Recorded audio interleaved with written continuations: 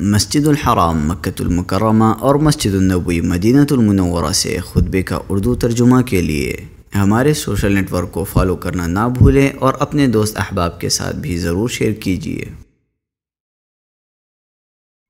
खुतब जुमा मस्जिद हराम तारीख चौबीस रबी अव्वल चौदह सौ छियालीस हिजरी व मुताबिक सत्ताईस सितंबर दो हज़ार चौबीस ईस्वी मौदू नहमतों की शुक्रगुजारी खतीब फतरत शेख अब्दुल्ला बिन अवाद अलजुहनी हफिज़ल्ला तर्जुमा सनाउल्ला सदक तैमी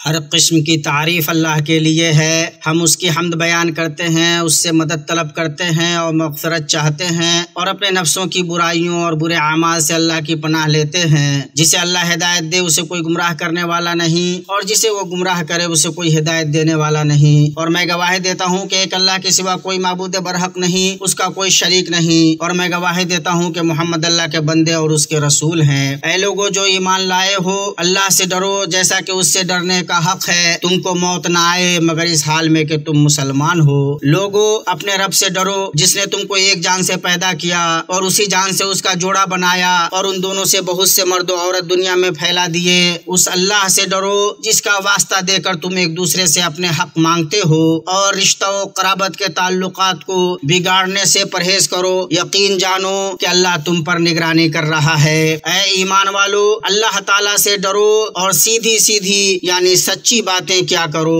ताकि अल्लाह ताला तुम्हारे काम संवार दे और तुम्हारे गुनाह माफ़ फरमा दे। और जो भी अल्लाह और उसके रसूल की ताबेदारी करेगा, उसने बड़ी मुराद पाली अम्मा बाद बिलाशुबा सबसे सच्ची किताब अल्लाह की किताब है और सबसे अच्छा तरीका मोहम्मद सल्लल्लाहु अलैहि वसल्लम का तरीका है। और सबसे बुरी दीन में ईजाद करदा नई बातें हैं। दीन में ईजाद करदा हर नई बात बिदात है और हर बिदात गुमराही है। लोगों अल्लाह का तकवा इकरार करो और उसकी जो नेमतें और नवाजिशें तुम पर हैं, उन्हें याद करो। उसका शुक्र अदा करो और इखलास के साथ उसी की इबादत करो। हर चंद के काफिर नापसंद करें और हर चंद के मुशरक नापसंद करें। मुस्लिम हजरात खातन अल्लाह ताला ने दीन इस्लाम से इंसानियत पर एहसान किया और इंसानों को मखलूक में सबसे बेहतर अपने रसूल उम्मी मोहम्मद सल्लल्लाहु अलैहि वसल्लम से इज़्ज़त बख्शी। यहाँ तक के लोग आपस में मोहब्बत करने वाले भाई बन गए। बाद इसके कि वो एक दूसरे से दूर, एक दूसरे के दुश्मन थे। इसीलिए अल्लाह ताला ने अपने इस कौल से उन्हें याद दिलाया। और अल्लाह ताला की उस वक्त की नेमत को याद करो। जब तुम एक दूसरे के दुश्मन थे तो उसने तुम्हारे दिलों में उल्फत डाल दी। बस तुम उसकी मेहरबानी से भाई भाई हो गए और तुम आग के गढ़े के किनारे पहुँच चुके थे तो उसने तुम्हें बचा लिया। अल्लाह ताला इसी तरह तुम्हारे लिए अपनी निशानियाँ बयान करता है ताकि तुम हिदायत पाओ। अल्लाह के बंदो, जब हम आफाक और अपने नफ्सों पर गौर करते हैं तो हम अपने ऊपर अल्लाह की इतनी नियमत देखते हैं जिन्हें न गिन सकते हैं और न शुमार कर सकते हैं। उसकी इनायतें हमारे इर्द गिर्द बगैर किसी इनकता के पैदर पे हो रही हैं। और अल्लाह ने हमें जिन नवाजिशों और इनायतों से नवाजा है और दिनों दुनिया में जो आफियत बख्शी है और जिस अमनो अमान से बहरावर किया है और मुल्कों और बंदों के लिए जो खुशहाली रखी है और जिसम की सेहत और जाहो जीनत और औलाद की जो नियमत अता की है और इनके अलावा तमाम दूसरी नियमतें जिन्हें न गिना जा सकता है और न शुमार किया जा सकता है। बंदे की ज़िम्मेदारी है कि वो उन्हें बयान करे और उन पर अल्लाह का शुक्र अदा करे। तहदीस नियमत के बयान में अल्लाह ताला का ये कौल है, जिसमें नबी वसल्लम को मुखातब करके पूरी उम्मत इस्लामिया को मुखातब किया गया है। अल्लाह तबारक वाली का फरमान है और अपने रब की नियमतों को बयान कर करता रहे पता चला कि नेमत चाहे दीनी हो या दुनियावी, उसे बयान करने का मतलब उसका शुक्र अदा करना और उस पर नाश करना है। चुनाचा इंसान जब किसी रब्बानी नेमत को बयान करे तो उससे उसका मकसद खुद पर और लोगों पर अल्लाह के फजल का इजहार, लोगों को अल्लाह की नेमतों में रगबत रखने पर उभारना और अल्लाह ने जो बख्शा और अदा किया, उस पर उसका शुक्र अदा करना होना चाहिए कि वो हमारा खालिक और राजिक है। और उसकी नेमतें और नवाजिशें इससे ज़्यादा है कि उन्हें गिना या शुमार किया किया जा सके। अल्लाह तबारक वाली का फरमान है, तुम्हारे पास जितनी भी नेमतें हैं, सब अल्लाह की दी हुई हैं और अल्लाह सुबहान वाली का फरमान है। अगर तुम अल्लाह के एहसान गिनना चाहो तो उन्हें पूरे गिन भी नहीं सकते।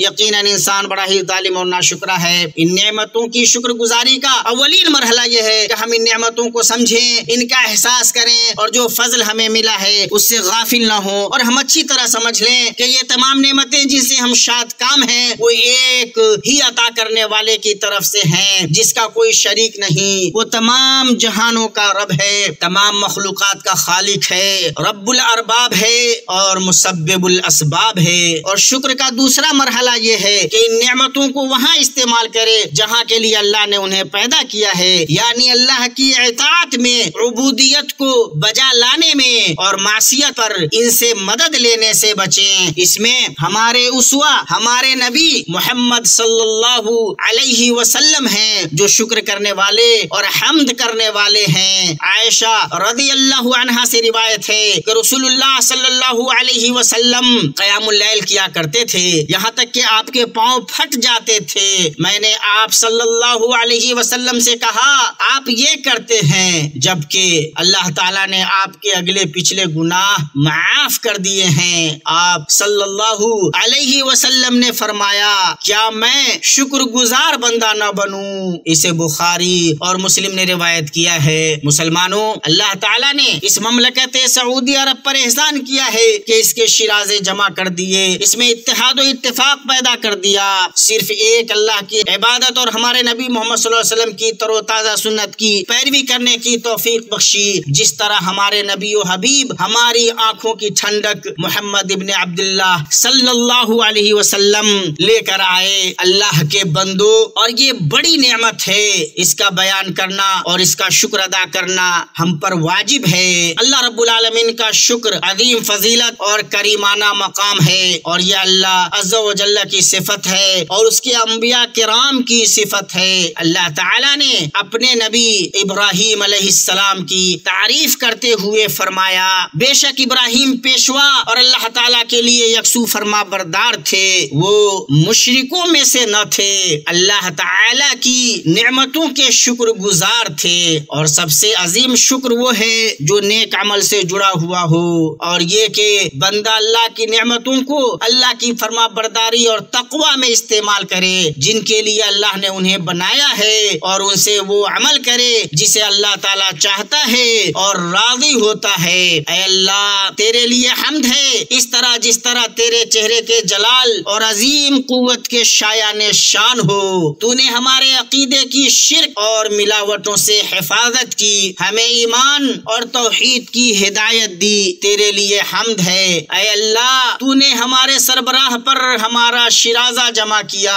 हमारे कायदीन के पीछे तूने हमारी सफ़े मुतहद कर दी। तूने हमारी मदद की और हमें इज़्ज़त बख्शी। हमारे दुश्मन को जेर किया। हमारी रोजी कुशादा की, हमारा अमन ज़ाहिर किया और हमें फितनों से बचाया। और हमने तुझसे जो मांगा अय हमारे रब, तूने हमें अता किया और हमने तुझसे जो मांगा अय हमारे रब, तूने हमें अता किया। इस पर तेरी बहुत ज़्यादा हमद है। अल्लाह, हमें अपनी नेमतों की शुक्रगुजारी की तोफीक दे और हमें अपने अजीम फजल और एहसान से मजीद अता कर। हमें हमारे आबा महात और तमाम मुसलमानों को बख्श दे। बिलाशुबा, तू बहुत बख्शने वाला, बड़ा मेहरबान है।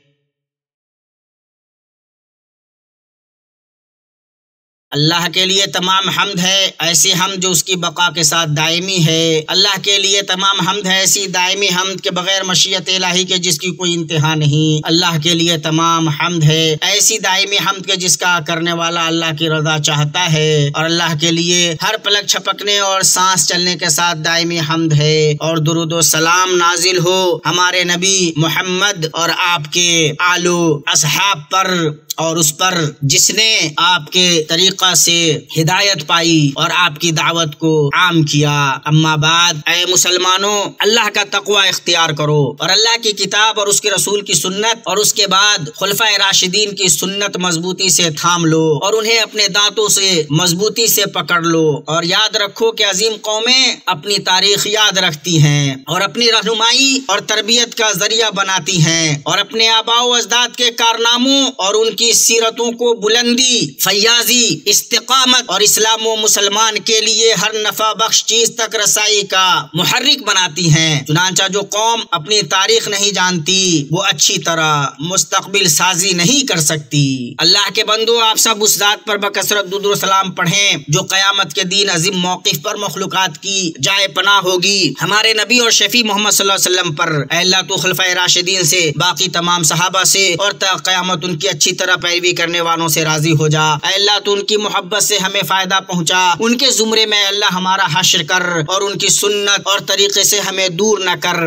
अकरमुल मुकरमीन अल्लाह, तू इस्लाम और मुसलमानों की तायद कर और अपने फजल से हक और दीन की आवाज़ बुलंद कर। अल्लाह, हक, तोफीक और दुरुस्ती से हमारे इमाम और हाकिम की तायद फरमा और उन्हें इस काम की तोफीक दे जो तुझे पसंद हो और तू जिससे राज़ी हो, उन्हें नेकी और तकवा पर लगा। उन्हें नेक मुशीर इनायत कर। उनके ज़रिए अपने दिन को गलबा दे और अपने कलमा को बुलंद कर। उन्हें इस्लाम और मुसलमानों का मददगार बना और उनके ज़रिए मुसलमानों के कलमा को हक और हिदायत पर इकट्ठा कर। ए रबालमीन अल्लाह तुन्हें उनके वली अहद को, उनके भाइयों और मददगारों को हक को हिदायत हर उस काम की तोफीक दे, जिसमें बंदों और मुल्क की भलाई हो। अल्लाह, मुसलमानों के सरबराहों को अपनी किताब और अपने नबी मोहम्मद की सुन्नत पर अमल करने की तोफीक दे और उन्हें अपने मोमिन बंदों के लिए रहमत बना और उनके कलमे को हक पर मुतहिद कर। ए रब्बुल आलमीन अल्लाह, हमारे मुल्क और मुसलमानों के तमाम मुल्कों की सत्र पोशी फरमा